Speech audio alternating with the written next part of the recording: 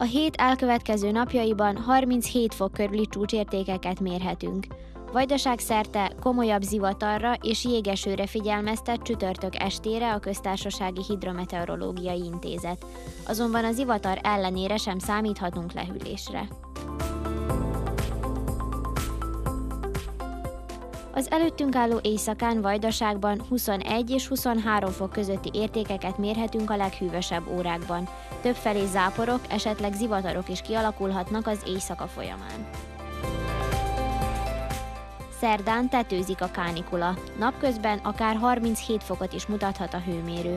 A napsütés mellett erőteljesebb lesz a gomoly felhő képződés, és a késő délutáni órákban néhol nagyobb zivatarok is kialakulhatnak. Ennek hatására pedig a szél is megélénkül. Csütörtökön egy hidegfront érkezik térségünkbe, feltámadó nyugati széllel. Többfelé hevesebb viharok is kialakulhatnak. A nappali órákban 36 fokot mérhetünk majd.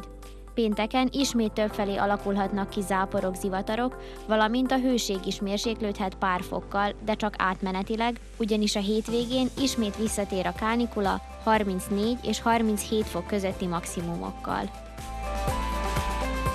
A régió más országaiban is csapadékmentes, meleg időjárás várható szerdán. A legmelegebb értékeket Szeged és Belgrád környékén mérhetjük, ahol a 37 fokot is elérheti a csúcshőmérséklet, de Eszék és Temesvár környékén is 35 fok feletti értékeket mutat majd a hőmérő.